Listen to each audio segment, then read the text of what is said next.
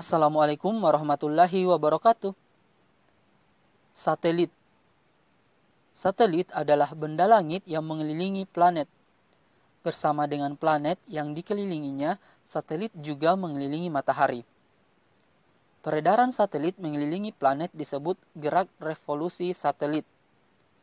Satelit juga berotasi, yaitu berputar mengelilingi sumbunya sendiri. Pada umumnya, arah rotasi dan revolusi satelit sama dengan arah rotasi dan revolusi planetnya, yaitu dari barat ke timur, kecuali satelit dari planet Neptunus. Tidak semua planet memiliki jumlah satelit yang sama. Ada planet yang memiliki banyak satelit seperti Jupiter dan Saturnus, ada planet yang memiliki satelit satu saja seperti Bumi. Ada pula planet yang tidak memiliki satelit seperti Merkurius dan Venus.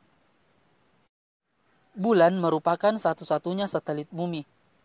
Bulan berotasi selama satu bulan yaitu 2930 hari sama dengan revolusinya. Oleh karena itu, permukaan bulan yang dilihat dari bumi akan selalu sama. Jarak antara bumi dengan bulan kira-kira 384.403 km massa bulan kurang lebih 1 per 10 massa bumi. Diameter bulan 3000 km. Gravitasi bulan 1 per 6 gravitasi bumi. Permukaan bulan berkawah dan bergunung. Ada bagian yang gelap, halus, dan datar disebut lembah Maria.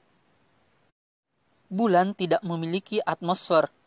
Oleh karena itu, perbedaan suhu sangat ekstrim, yaitu suhu tertinggi 110 derajat Celcius dan suhu terendah minus 173 derajat Celcius. Hal ini terjadi karena ketika terjadi penyinaran oleh matahari tidak ada lapisan pelindungnya. Sedangkan ketika penyinaran tidak berlangsung, panas yang telah diterima akan dihamburkan seluruhnya.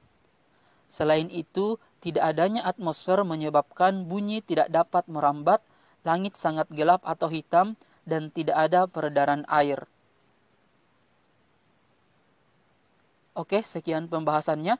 Assalamualaikum warahmatullahi wabarakatuh.